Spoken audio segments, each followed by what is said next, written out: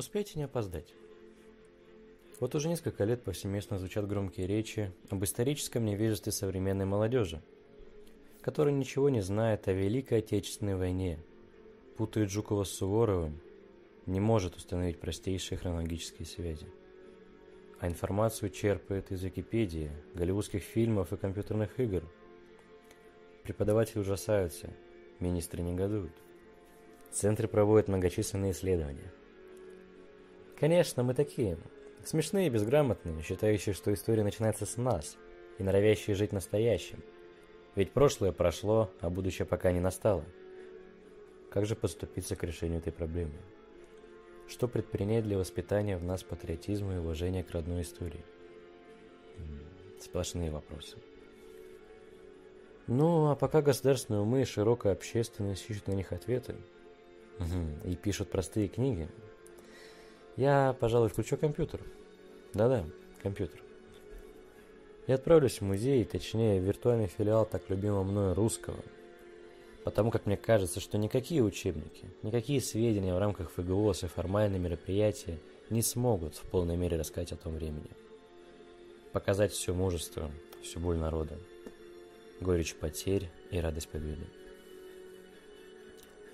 А искусство, оно пройдет дорогами Великой Отечественной, даст возможность прочувствовать, ранит самое сердце, не соврет.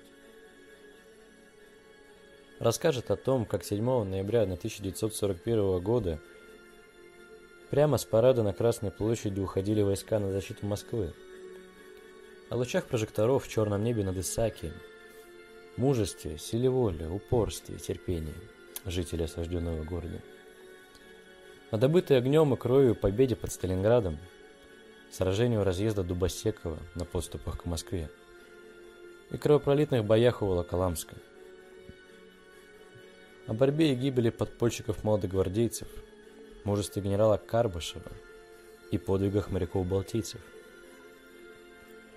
О разрушенном войной родном очаге и страшной горечи потерь. О словах любви и тревоги, написанных в перерывах между боями, в окопах, на коленке. Поведай черноморскую легенду о заветном камне, Сохрани для нас образы героев, защищавших Родину. Людей различных возрастов и званий, прославленных командиров, рядовых участников партизанских рейдов, тружеников тыла. Покажет образы матерей, такие яркие и символичные.